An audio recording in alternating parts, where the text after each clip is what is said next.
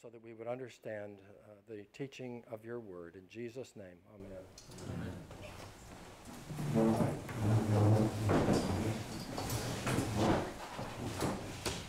All right, let's, uh, let's go over the quiz on uh, study 10. Uh, what are the three elements of saving faith? Number one, Knowledge. knowledge. Two, Assent. assent. And Trust. Trust. Right. It was the third element that the Reformation brought into the definition, that clarified um, a- a- and, and uh, completed what was missing in the medieval definition. Knowledge and assent, that's the, that's, uh, the devil, the devil's able to do that. What's missing is personal repentance, personal trust, uh, the the soul clinging to Christ. Okay, what are the three elements of repentance? Yeah, so it's, um, you know, confess, um, to, uh, to say the same thing, uh, to uh, acknowledge what God says. So there's confession, Acknowledgement. Grief? yeah, grief, and what's the other? Turning? Yeah, the will. So there's the, there's the, the mind, the emotions, and the will. Uh, repent really is the, the, the, the comprehensive word. Homologeo. Uh, excuse me. It's like the turning. That's confess. Repent is, uh, is uh, metanoia, which is a change, a change of mind. Noia is mind, change of mind. So confess is to lego, lego, legeo is to say, homo is the same. Metanoia uh, is to is to meta, the change of the noia, the thinking, the mind, the will, the turning of the person. All right, well, can one be saved without good works? Explain. No. No. Yes. Well, explain yes. You can say either one, but you have to explain. That is, that is, that's the mm-hmm. thing. Right, you have to defend your answer. Yes, we are not saved by good works in any way. So without good works, we can be saved. Yeah. But, But what is, Dan, what's the, uh, the other side of the story? I mean, the, the one liner, faith alone saves, but saving faith is never alone. Saving faith is always accompanied by good works. Ephesians 2.10, James chapter 2. So it's the root versus the fruit. It necessarily follows from. So good works are necessary, but they're never meritorious. Agreed. They do not contribute, they flow from. Uh, okay, um, is, is the statement once saved, always saved true? Yes, Yes. but, Huh? but it's very misleading. You want to qualify this one too, do you? I'm a lawyer, I qualify everything. Yeah. Uh, it, it's misleading. It gives you the idea that you walk the walk, you pray the prayer, you got your ticket punched, and you're good to go, which is not true. that's a wrong view of Sal, that's a wrong view of Correct. wanting to be saved anyway. Correct. But that statement tends to imply.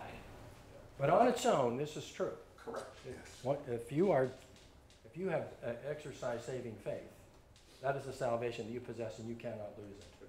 When you are justified, that's a declaration a fi- with a finality, a verdict that has been rendered by God, and you are now in, that is the status you now have and you cannot lose. All right, Was of that the, rendered before the foundation of the world? Excuse me? Was that verdict rendered before the foundation of the world? Um, no, it's rendered in time, at the moment you believe. All right, um, of these three, perseverance, preservation, and eternal security, which is to be preferred? Preferred. Not eternal security. Perseverance. Preservation. Who, who wants perseverance? Yes. Jackson? Yeah, because to look at and see that we're preserved or that we're eternally secure kind of leans on the same idea that once saved, always saved. It's just this has happened now. We don't have to, we can just exist in our sin even if we saved. Yeah, so the original language that came out of Dort with the, uh, you know, the formulations against the five points of Arminianism was perseverance. It, uh, from, you know, from the human side, you must persevere, but the divine side is God preserves. And so we are eternally secure. But all this takes some conversation, it takes some explanation to make sure that we're being understood by what we're saying. Because uh, the concern here, which was very, very prevalent in the circles that I grew up in, where it was pray the prayer, you know, walk the aisle, sign the card, and so forth, uh, we, we just had a superabundance of people who had done that and who had no resemblance to, you know, biblical Christianity, the Christian life, um, holiness. Uh, It, it, it, it was fire insurance. And if you mentioned anything to him, you're called a legalist. Well, that too, yeah. So lots of carnality among people who have no intention of obeying uh, God, serving Christ, uh, contributing to the life of the church. Uh, just, uh, it's fire insurance. All right. So is it perseverance or preservation? It's not eternal security. Yes. Per- Perseverance, I think, is the preferred word uh, for our purposes. Uh, But these two are true. Because preservation puts it on, shifts the onus to God It doing does. preserving work. But we are only able to persevere because he preserves, right? And then we're only secure because he, he, um, you know, he takes us into his hands and there's no one who can pluck us from those almighty double wrapped hands. Uh, okay, list the first seven stages of the Ordo Salutis beginning with election. Election, Effectual The call. effectual call. okay, what's another word for that? Regeneration. Unless you are born again, you cannot see the kingdom of God. Next. Faith and repentance. It's a little different in the notes. Yeah, let's say it's union with Christ. Union with United. Christ is number three in the notes. You know, the reason for this is, I think, maybe I explained it in the notes, that uh, union with Christ can go anywhere on this line. Are you elect in Christ? Afraid so. You know, are you born again by the Spirit of Christ? Uh, Yeah, so I, I think union with Christ goes anywhere along the line. And uh, so, nevertheless, effectual call, regeneration, what follows of that? Justification. Something's got to precede justification. Faith, Faith. repentance, Okay. conversion. faith and repentance. Um, Reason why it's here, number four, because in the catechisms, it talks about us being united to Christ by faith. But I think it goes ev- anywhere. All right, what, what follows faith and repentance? Just justification. Justification and, Can you move the paper up? Adoption. oops, adoption. Both of these are verdicts. Then what? Sanctification. sanctification. Why has it only got seven lines? It only asks you for seven. This First question just says list the first seven. Oh, okay. Eight, Perseverance perseverance. And nine? to glorification. Glorification. Okay. Shorter catechism. What does God require of us that we may escape the wrath and curse of God due to us for sin? This is a great definition. I commend it to you. When I memorized the shorter catechism, I stopped on number 39. So I must go to the book now, but um, what does God require of us that we may escape his wrath and curse due to us for sin? To, uh, to, re- to escape the wrath and curse of God due to us for sin, God requires of us faith in Jesus Christ and, and repentance unto life. With the diligent use of all outward means. Okay. And um, what is faith in Jesus Christ? Faith in Jesus Christ is a saving grace whereby we receive and rest upon him alone for salvation, as he is offered to us in the gospel. Okay, and what is repentance unto life? Repentance unto life is a saving grace whereby a sinner, out of a true sense of sin and apprehension of the mercy of God in Christ, does with grief and hatred of his sin turn from it unto God with the full purpose of and endeavor after due obedience. Okay. Uh, These are very handy definitions, and I commend them to you, even if I don't myself know all of them. All right, so assurance. Um, Let's, uh, let's begin to go through these. Um, Study number 11. Who should be assured of their salvation and on what basis? Christians. On what basis? of All those who truly believe in the Lord, sincerely love Him, work them good conscience before Okay, that's all, that's all well and good, but what is the confession concerned about when you give that answer? When you say faith in Jesus Christ is the basis for our assurance, which is absolutely true, absolutely the case. That's how we know that we're forgiven, that's how we know we're reconciled to God, that's how we know we have the gift of eternal life. But there is a problem. And what is the problem? The very first line that hypocrites and Self-deception. unlearned men deceive themselves. Yeah, the, the, the, what, what the confession takes seriously is something that I'm afraid that we don't take seriously. Is that it takes, it takes with uh, utmost seriousness the problem of self deception and presumption um, that arises out of cheap grace and easy believism. Um, so, so the concern at the outset is, and, and, and, and by the way, the, the confession, as always, is navigating between Rome on the right, that absolutely denies any assurance of salvation, except to you know, saints who do works of supererogation where they know they're saved and they have a, you know, merits, they, they contribute to the treasury of merits that you can draw on in, in order to um, you know, reduce your time in purgatory. Other than super saints, everybody else, for anyone else that would claim to have assurance, that's just presumption as far as they're concerned. You're anathematized by the Council of Trent. You can't know that you're saved. And you think you're so, you know, it's that, it's that kind of, you think you're so good, you think you're so righteous that you would go to heaven? No. You can't have assurance, not in this world. Terry, how, how was that sainthood acquired or declared? Who said so? Was it the Pope or was it, uh, the cardinals or the bishops? Well, ultimately, yeah, I think ultimately it's, a- it's the Pope's decision. And it, it- would, it would, it- would it happen, it always happen after the, after death, Yeah, right? think, yes. So, Yeah, even they wouldn't know. so you have no, Yeah, yeah. I mean, that's a good point. Even they wouldn't know in this life that, uh, that they, they, they had um, done, because remember now, justification is based on grace enabling you to do the good works by which you will be justified. So you can never know if you've done enough good works. So you can never know, you can never have assurance. You can never know whether you've made the grade. So, So Uh, under Rome's system, Romans five one is meaningless and you never have peace with God. I- So that would be our argument, yes. You can't know that Romans 8 1, there's no condemnation. You can't know Romans 5 1, that you have, have peace with God. So as Carl Trueman points out in his book on creeds, one of the first benefits that somebody who converts from Roman Catholicism to Protestantism is that they can know that they are saved. They can have the assurance of their salvation, which on, on Roman Catholic terms, you can never know. Uh, so, so there's that side. That's the right side, as it were, of the problem. The left side of the problem is self-deception. Somebody thinks they're saved, they're not.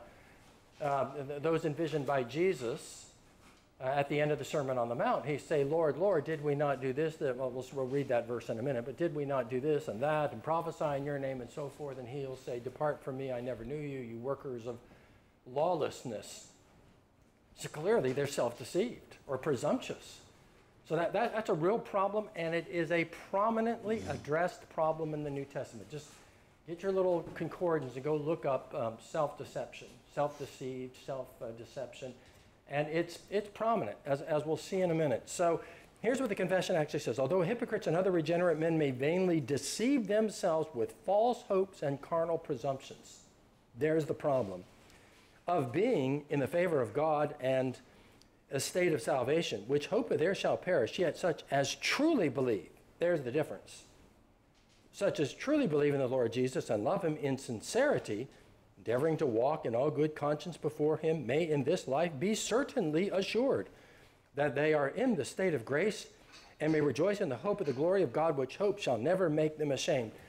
Uh, so you'll recall that we said this is the first confessional document that has a separate chapter on uh, adoption so likewise, this is the only confessional document that has a separate chapter on assurance. That's how important this doctrine was seen by the, West, the Westminster Divines, by the whole Protestant Puritan heritage. This is a, a crucial uh, gift of God for the people of God that, um, that enables them to have peace and joy and assurance rather than fear and um, anxiety about eternity.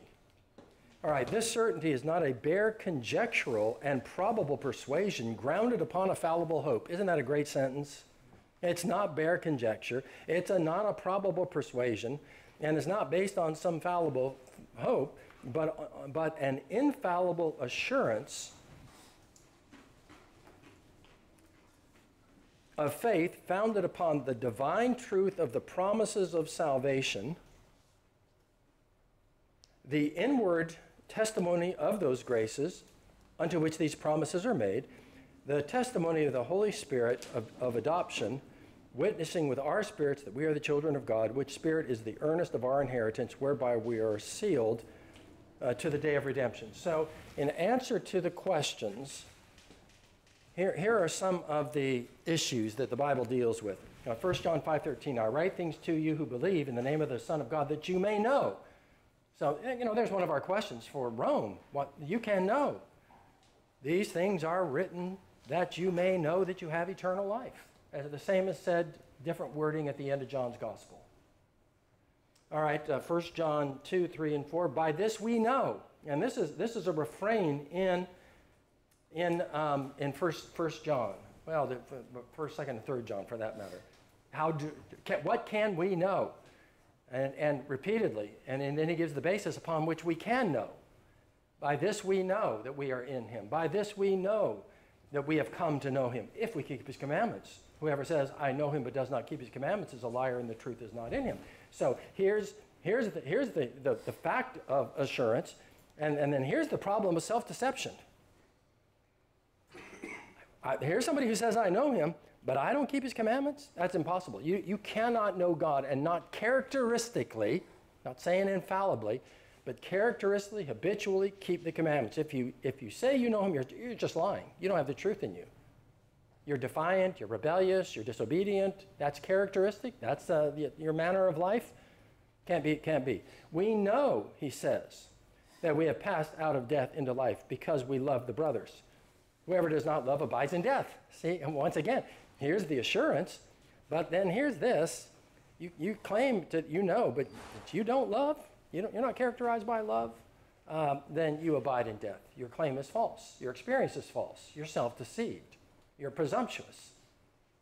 So again, look at, look at the number of times this, this is, we're cautioned about this. Anyone thinks he has something when he has nothing, he deceives himself. Uh, James 1.22, be doers of the word and not hearers only, deceiving yourselves.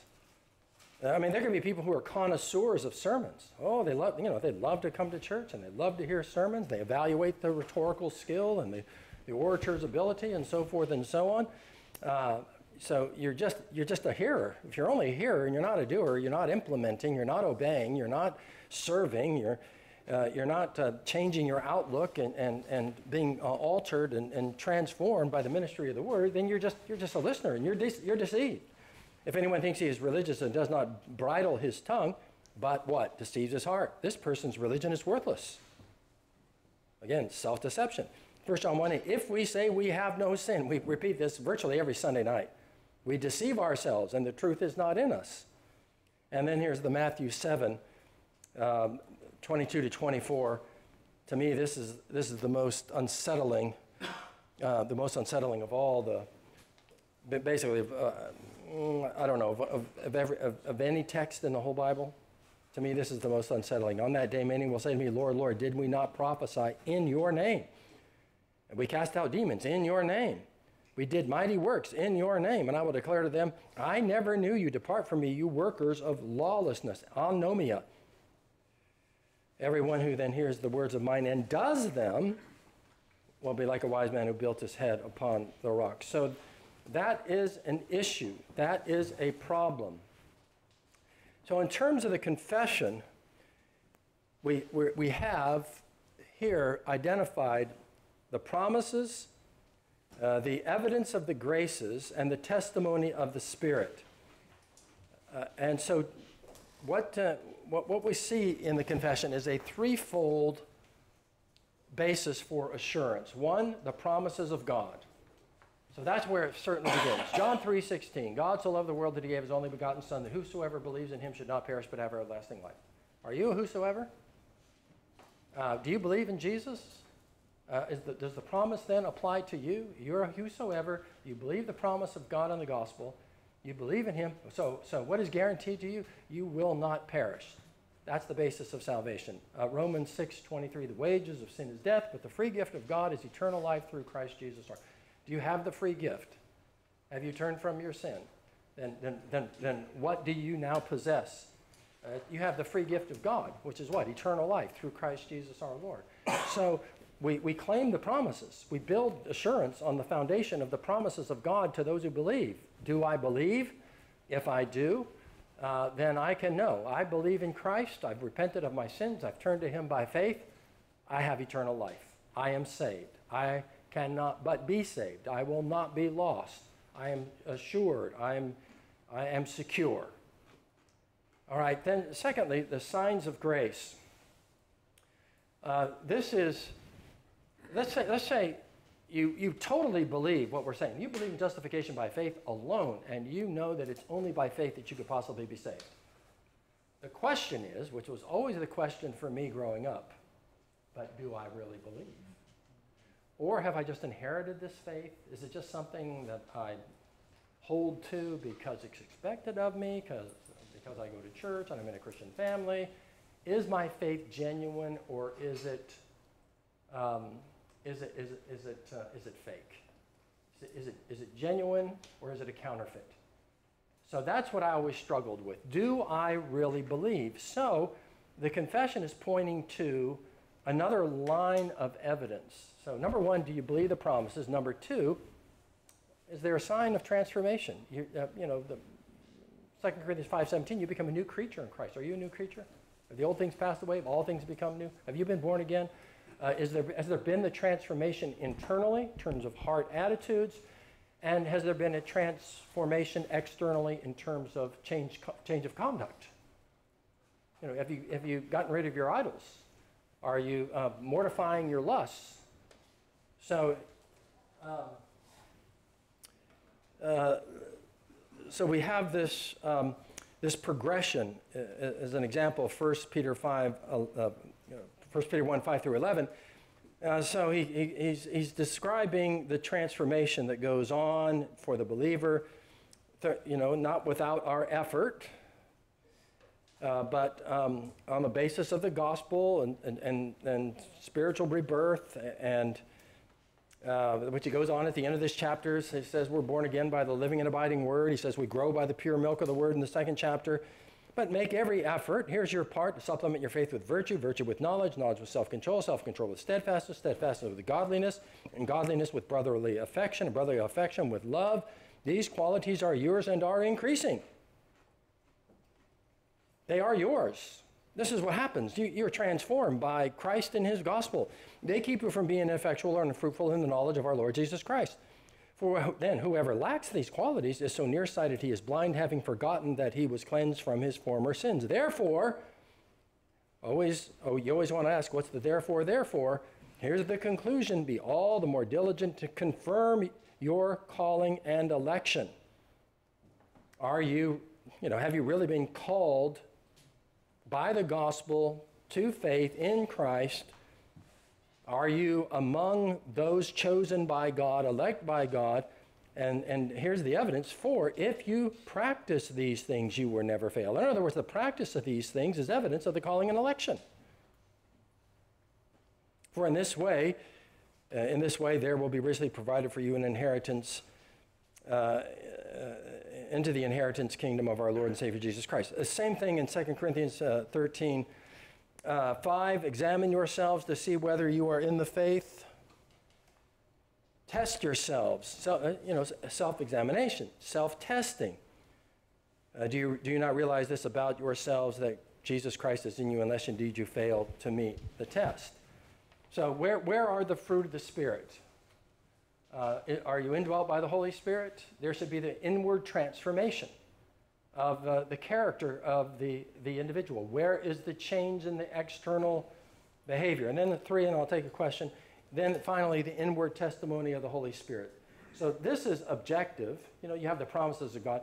This is subjective and objective, the internal transformation that, that leads, or, or, or, or rather the, yeah, the internal transformation that bears fruit in external behavior, the new, the new creature in Christ, and then the inward testimony of the Holy Spirit. This is more mystical. You did not receive the spirit of slavery, slavery to fall back into fear, but you have received the spirit of adoption as sons by whom we cry, Abba, Father. The Spirit Himself bears witness with our spirit that we are the children of God. Now, I don't think this happens apart from these, but it's over and above these, a, a, a, um, a confirming uh, of our salvation, that we are in a right relationship with God, that we have been adopted and are members of the family of God, that we are true believers and all the promises of God apply to us. Yes, question. Uh, the verse, 2 Corinthians 13, 5 at the very end, when it says, unless you indeed to, unless indeed you fail to meet the test, is he referring, do you feel, to something specific? Like, what does he have in mind when he says the test? Um, the I think he's talking about the test of your faith. Is, is, is your faith genuine? So examine yourselves. Are you a real believer? Whether you are in the faith or are you outside of the faith? Uh, have, is, your genu- is your repentance genuine? Is your faith authentic? Or, or are they counterfeits? So you need to examine yourself. He's telling the Corinthians, and no doubt there's, that's been important for believers all through the centuries to not um, fall to self deception through self, uh, faulty self evaluation. Ben? Um, I'm curious, what what pastoral advice would you give to someone who's going through this test, like self testing? Because I feel like when I when I have experienced times in my life of doubt or questioning my like the genuineness of my own faith, it's usually just been like internal moping that has lasted a long period of time, and eventually I'm like, oh well, I probably am good. Uh, and probably would have been nice to have had someone like actually counsel me through that. And so curious what, like, what practical advice you'd give to someone who's looking to, to test their faith or examine themselves. Um, Those, those three things would be a great place to start. what was that? The truth of the promises of God, the signs of grace, and then the testimony of the Holy Spirit, which is the elusive one. Yeah. Yeah, I think that there's no replacement for re- rehearsing the promises of God in prayer and praying for assurance and praying for confidence, praying for certainty, uh, praying for the peace of God, praying for the joy of the Holy Spirit, um, and uh, overcoming your doubts and your fears and your anxieties about this. I mean, it's something you want to get right. And um, so the next paragraph and the next question too is, is I think realistic. So, so you know, uh, I was part of a, at least a, loosely associated with a campus organization in which, you know, if you didn't have assurance, you know, there's just it was just a mechanical process. I think we talked about this last time. You, you know, you breathe out your sin and you breathe in the Holy Spirit. You're commanded to be filled. You are filled and you just trust the promises of God. And it was just one, two, three, and it's all easy. And you know, it's just not the way it works for human beings, especially particularly sensitive souls. So this is, this is uh, the paragraph three recognizes this, and it argues this infallible assurance does not so belong to the essence of faith. So there are those who believe that Calvin um, identified faith and assurance and used them interchangeably. And th- this was com- common amongst the critics of the Puritans that Calvin, for Calvin, faith uh, and assurance um, uh, were one and the same thing. And so if you believed, you had assurance. Uh, and the Puritans came along and made that more complex so that you could have faith and then not have assurance. And so you have all these believers who are wringing their hands and trying to get there, as, as it were. That sounds like it confuses faith in Christ with faith in your faith, or conflates those two. Well, it could, could be that that's right. We don't have faith in faith, we have faith in Christ. Uh, so anyway, I did a paper on this when I was in England, and um, I decided my conclusion was they're just misreading Calvin. Calvin recognizes that you can have genuine faith and yet struggle to have assurance. Uh, you just have to read him more carefully and not hate the Puritans. If you come to the right conclusion on that. Um, so it's not of the essence of faith. In other words, you can have saving faith, but you're still just not sure about the authenticity of your own faith. You really are trusting Christ for your salvation. You have no, you're, not, you're, not, trusting in your own righteousness, your own virtue, your own goodness. Um, you're not trusting in the church. You're not tr- trusting in the clergy. You're not trusting in the family you were born into. You're not trusting in your baptism. You're trusting in Christ. But you still struggle with whether or not it's authentic or genuine or it's, it's superficial and false and hypocritical and counterfeit and, and so forth that a true believer may wait long and conflict with many difficulties before he be partaker of it. Yet, being enabled by the Spirit to know the things which are freely given him of God, he may, without extraordinary revelation and the right use of ordinary means, this is what the confession and the whole Reformed tradition loves to urge you to do. Use the ordinary means, meaning what? Go to church.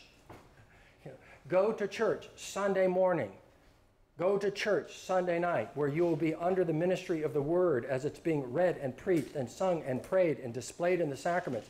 Go to church under the ordained ministry where Jesus promises to be by his Spirit, where two or more are gathered in his name. Enjoy the presence of Christ, the fellowship of the saints, the ministry of the word, week in, week out, month after month, year after year. You're struggling to know whether or not you're saved? Well, get into church, get in there and be there and be consistent and be regular, and that'll make a huge difference. And then, ordinary means at home, read the Bible, pray, seek it, seek assurance. So, the right use of ordinary means attain thereunto, and therefore it is the duty of everyone to give all diligence to make his calling and election sure. There's the echo of the passage we just read and that thereby his heart may be enlarged in peace and joy in the Holy Ghost, in love and thankfulness to God, and in strength and cheerfulness in the duties of obedience, the proper fruits of assurance. So far is it inclining men to looseness. So that's the accusation of Rome, and it's the accusation of Arminians who, who deny the possibility of assurance, who, who believe that you can lose your salvation. So I think we looked at that last time we were looking at the perseverance of the saints. Arminian theology believes that you can lose your salvation. So assurance is only ever a temporary thing.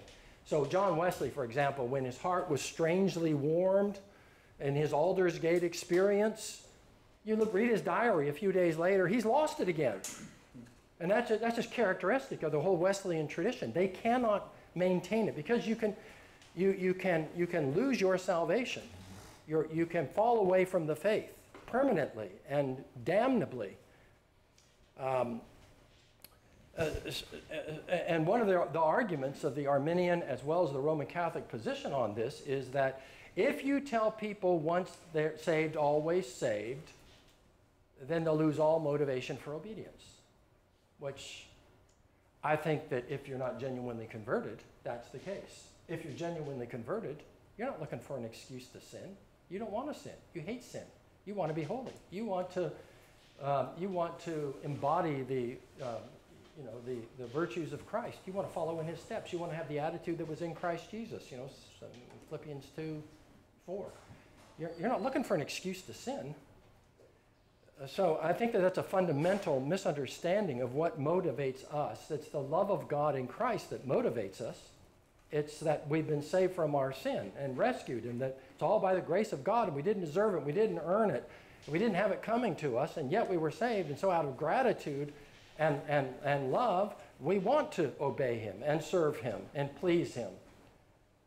Uh, so, this is a response to that, and trying to say to both the Arminians on the left and the Roman Catholics on the right, it is not, in, does not incline the genuinely converted to looseness. Right? It's just the opposite. It motivates.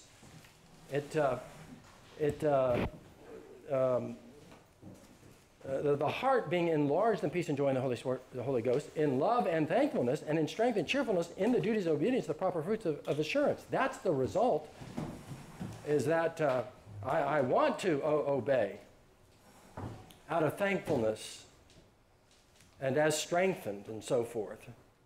It doesn't incline to looseness. So the Yeah. confession not only contradicts Trent in saying that we can have assurance, it goes further than, than that in teaching that we should have assurance and we should seek assurance Yes. if we do not have. Yes, it's saying you have a responsibility to seek it. Okay, question number two then is Is it possible for a genuine believer to doubt his salvation? Under what conditions does this happen? And what can be done about it? We want to read paragraph four as well.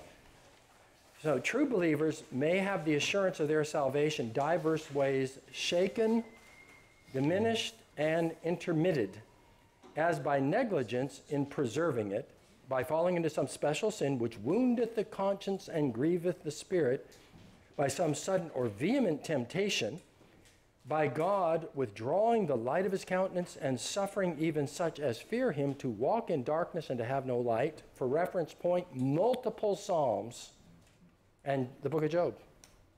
God has his own purposes, and sometimes this is what he does. So, why do you hide himself? That's a, that's a common question. Why do you hide yourself? Being asked in the Psalms. Because the sense of his presence and blessing and favor seems to have been withdrawn uh, so that God's people will trust the naked promise and not their own experience. Um, so have no light, yet they are never utterly, never utterly destitute of- of that seed of God and life of faith, that love of Christ and the brethren, that sincerity of heart and conscience uh, of duty, out of which by the operation of the Spirit this assurance may in due time be revived, and by which in the meantime they are supported from utter despair. So basically, to summarize what that's saying, I, I see three things proximity to conversion. You know, the young convert may not have assurance. Can, I, can it really be that I'm saved? Bad as I am, horrible as I have been, um, hypocritical as I have been, can it, can it truly be? Proximity to conversion. Negligence uh, or sin, negligence of the means of grace. Oh, the church is just full of hypocrites. I'm not going down there anymore. Those people, they, they're always judging me. So, we, you know, we stop praying, we stop reading our Bibles, we quit going to church, we're not under the ministry of the Word. In, in our church, you know, you can watch this progression from they're sitting in the middle downstairs, and then they move to the back downstairs, then they move to the balcony, then they move to the edge of the balcony. Next thing I know, we're going to another church. That has happened repeatedly, so I'm not judging people who are sitting in the balcony, but I am saying it's been, uh, been um, But if you used to sit downstairs, he is. so it's been, it's been, uh, it's been interesting to watch over the years.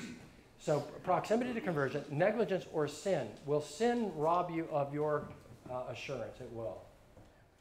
It will, especially when it, when the sin becomes habitual. When it becomes habitual, characteristic, chronic, it will rob you of your assurance. It may, uh, you may be led to question everything, whether any of it's true. Rightfully so, the, the scriptures say the fruit of, fruits of the flesh are, are tho- those sins, and it's not the only reason that you might know that you're not saved. Yeah, the deeds of the flesh, yes. And, and then the third is the sovereign divine desertions. So the, the Puritans were really good at this, and I found it to be extremely helpful. I read this book, The Genius of Puritanism, and it had a large section on, on um, the, this Puritan, I, I, um, and it's not just the Puritans, I'm, I'm, medieval theologians were rich in this as well, but they're, they're just their seasons where God seems to hide himself, and you do not sense his favor, you do not sense his blessing.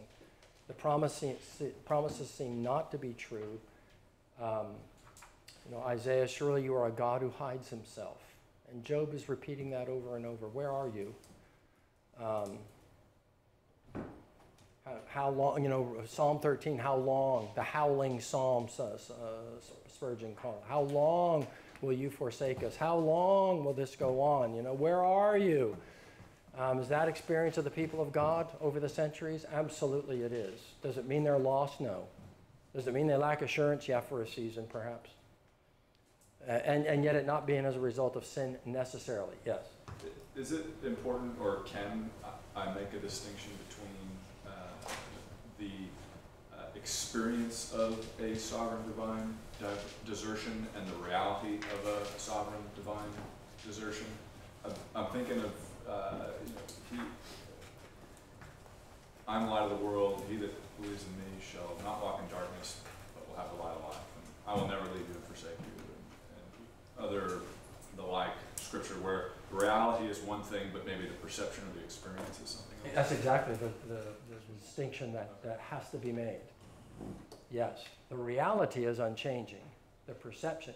So even Jesus on the cross, my God, my God, why hast thou forsaken me? Was, uh, was there a division between the second and first persons of the Trinity? No. So was he, was he, um, was he, um, was the Father absent? No, the Father's omnipresent. Um, was he, was he denied any sense of the presence of God? Yes. Any sense of his favor, any sense of his presence. Uh, so he experienced forsakenness. So yeah, I think there's a difference. That, no, that's an important distinction between the experience and the reality. The reality is, I will never leave nor forsake you. Lo, I'm with you always, even to the end of the age. Um, the reality is um, that we are safe in the Father's hands, and that no one can pluck us from His hands or, the, or, or, or Christ's hands. But the perception can be, um, God's not answering my prayers. I don't sense His presence. Um, you know, I, I, can say about myself, or whatever it's worth, every morning I sense, uh, I sense the presence of God. I do. When I do go and read my Bible and pray. Uh, I do. But I can't rely on that. I can't depend on it. I have to trust that it's true, that when I call upon Him in prayer, that He hears me. And uh, that He promises to be with me. So we, we trust the reality of the promise rather than the perception of the experience.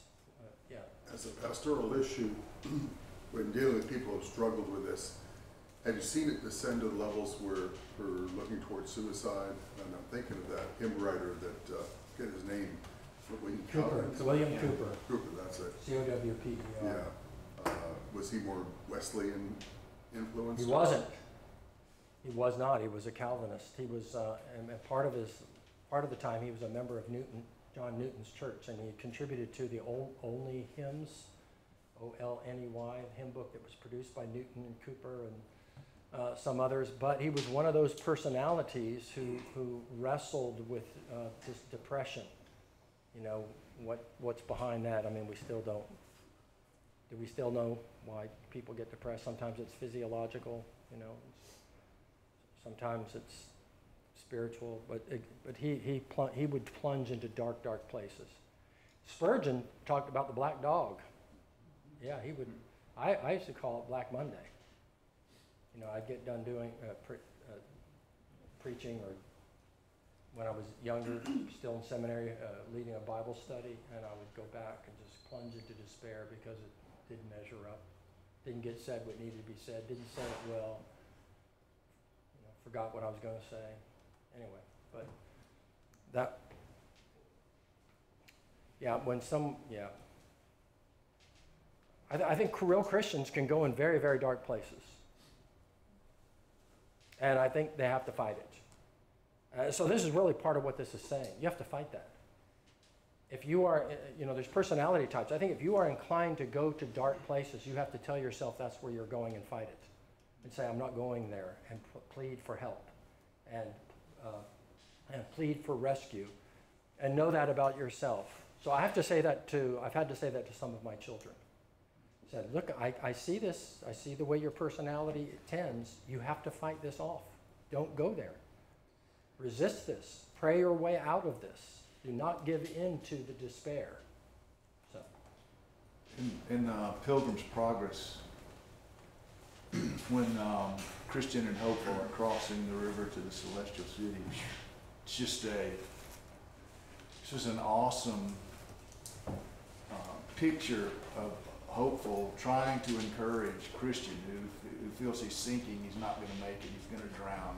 The waves are going over his head, and and the things that Hopeful is saying to him, uh, the true things that Hopeful saying to him, um, it's just such a, I it's a great picture of, of one who has assurance and one who struggles with it. Yeah. So I found myself saying with people, some people close to me, um, um, do you know that your sins are forgiven? Well, I don't know. Do you believe in Jesus? Well, I do, but I'm not sure if my faith is real. Well, do you do you love going to church? I do. Do you love uh, being under the ministry of the word? I do. Do you love the people of God? I do. Oh, sorry, that's just natural to you, huh? That that just comes naturally to you. You're just naturally virtuous, and so you love the scriptures and you love God's people, and that's all something you've just been able to generate all on your own. And you want to obey Him, and you want to please Him, and you want to live a holy life, and uh, you want to what's- manifest. How about what's the main thing you want for your children? Yeah. How how about that question? For you? Yes. Yeah. The main thing you want for your children is you want them to go to heaven. Why? Because you believe the Bible, right? You believe the gospel. Um, so you know, I think I think you do have to sometimes take people through steps uh, through that. Your life is inexplicable apart from the reality of your faith in Christ, and that you believe He is the Savior, and you've repented and put your faith in Him, and you have surrendered your soul over to Him. It's, your life is utterly inexplicable. What do you mean you, you don't know whether or not you believe? Of course you believe. Of course you do. Um, so, all right. Where are we? So, question number three then.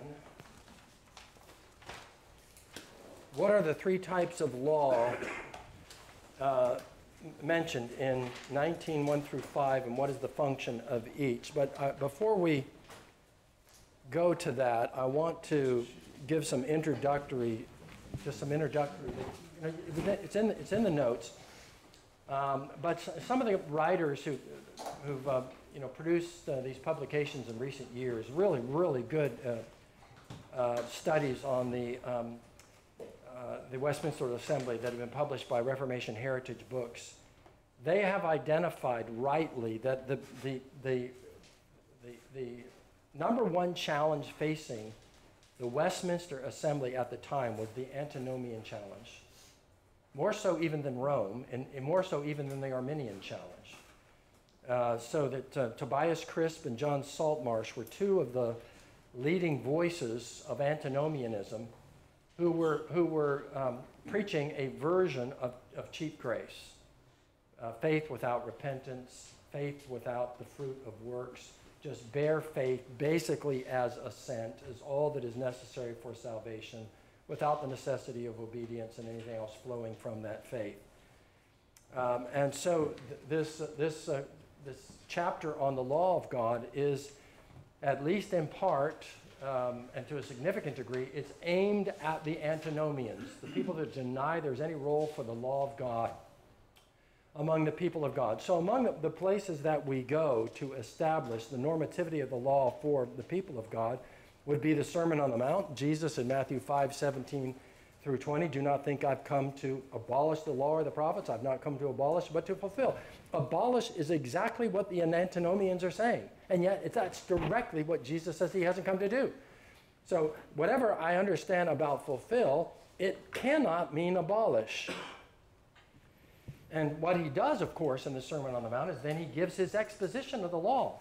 You know, do you know, do you know um, you have heard that the, uh, the prophets have said, You shall not uh, murder, but I say to you, if you hate your brother, you've heard the, you know, that uh, the prophets have said, you, you shall not commit adultery, but I say to you, if you look, if you look so as to lust. In other words, Jesus is giving his exposition, and as he does so, he doesn't ab- uh, abrogate the law, he deepens its application. He expands its application so that it's not just external behavior, it's internal heart attitude. And that's what he meant when he said that your righteousness must, uh, must exceed that of the, of the scribes and the Pharisees. You must have a righteousness that exceeds theirs because theirs had become something only of external conformity.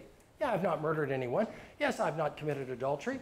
Uh, so that means that I have fulfilled the keeping of the law. And Jesus is saying, no, you're reading the law superficially. It goes much deeper than that.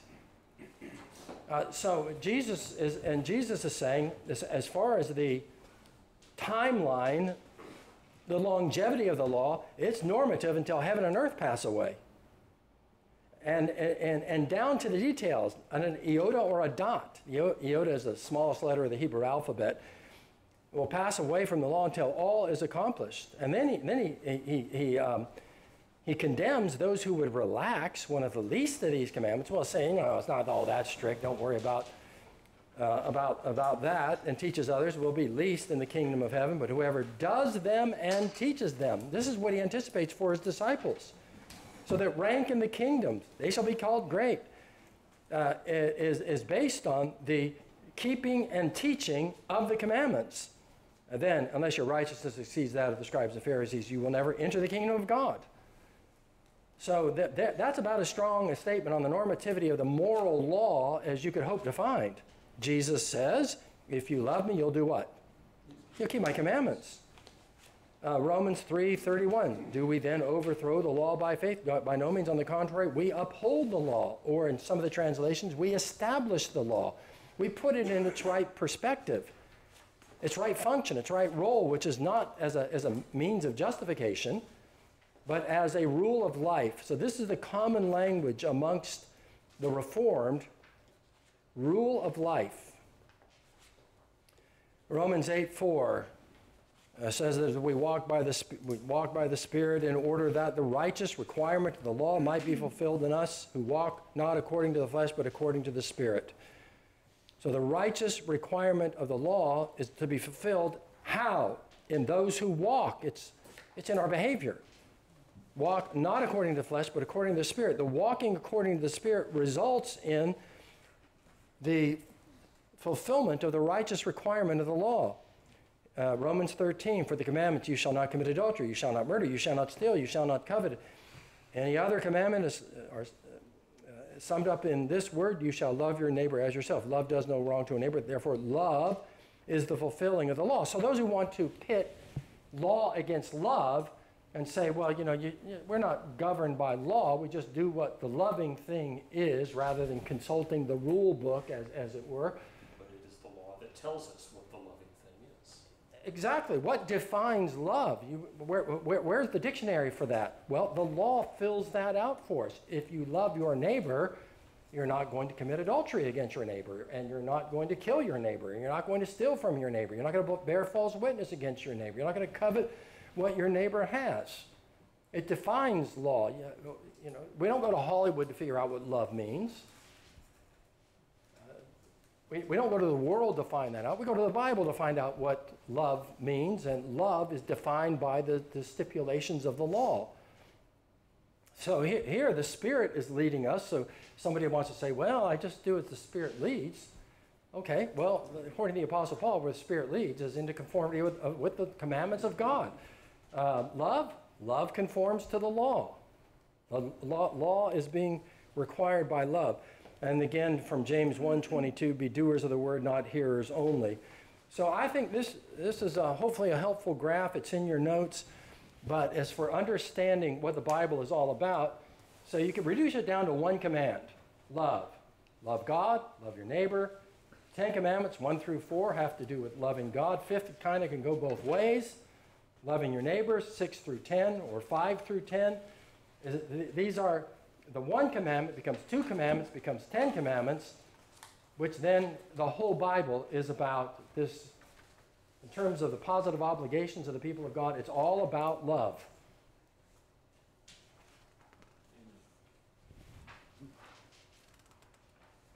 All right, so what was that question? Oh, we didn't do a question. Question number three.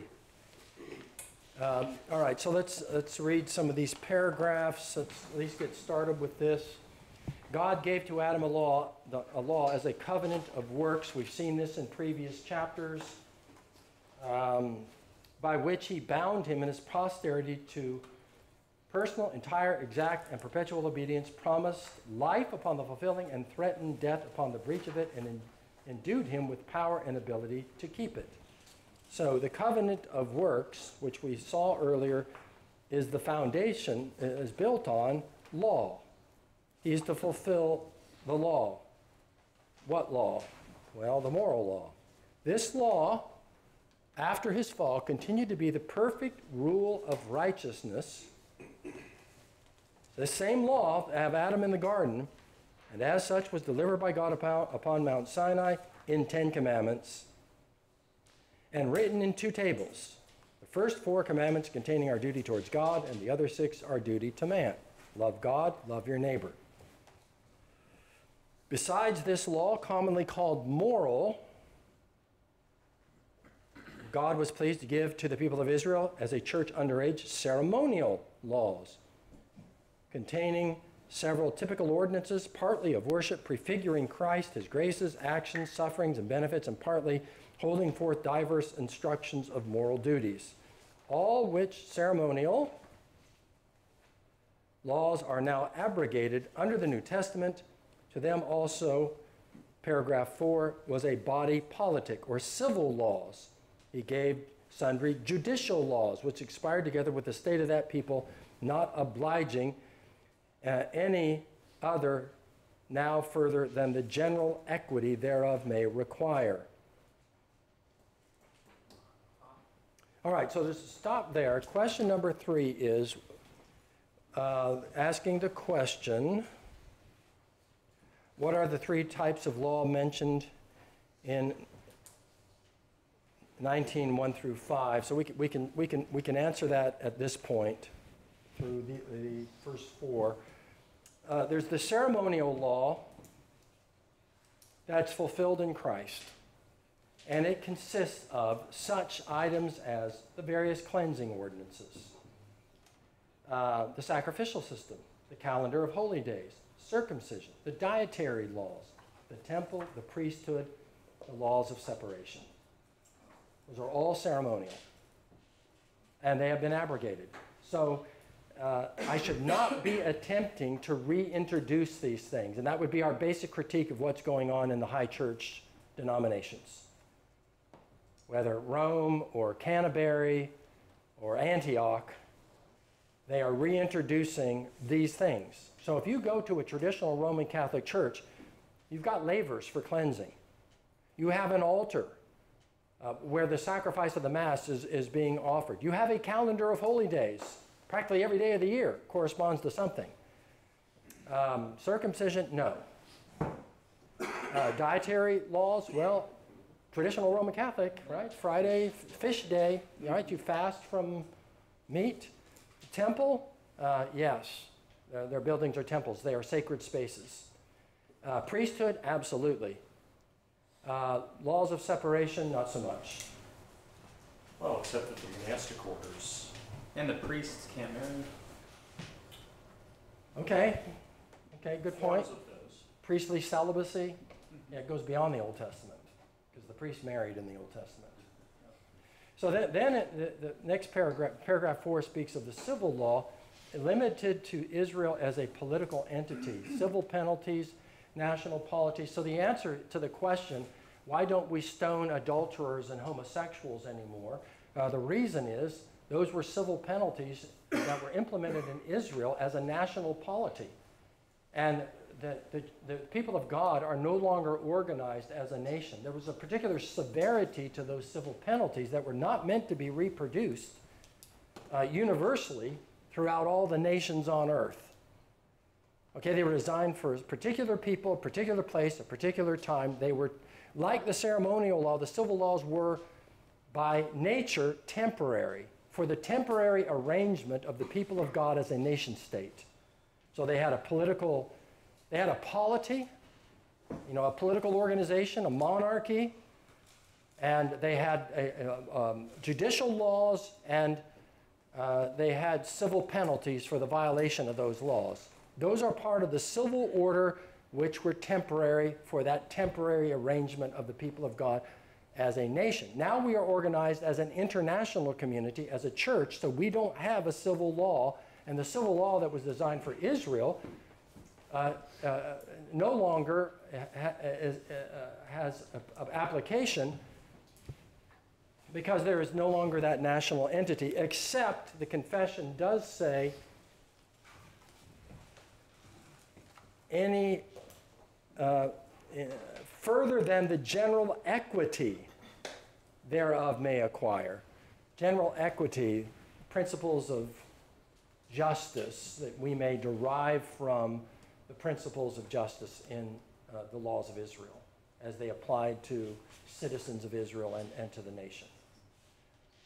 Um, so I've, I've, natural law, you know, is there, is there that which we can draw from the nat- natural law to, uh, in, in understanding what to, were the principles of, gen- general principles of equity in Israel? Well, it's, it's opening the door for that to be, that to be a reasonable thing for one to do. Okay, paragraph five, the moral law doth forever bind all as well justified persons as others to the obedience thereof, and that not only in regard of the matter contained in it, but also in respect of the authority of God, the Creator who gave it, neither doth Christ in the gospel any way dissolve, but much strengthen this obligation.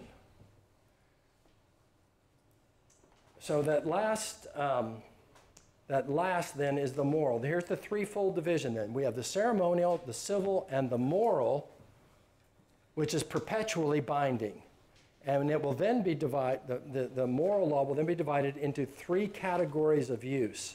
And this is where it does get confusing, and I, I admit, because you have the three categories of law, but then you have the three uses of the, of the moral law. And there is a civil use of the moral law, and a pedagogic use, and then a normative use. So we will come back to that after we take a five minute break.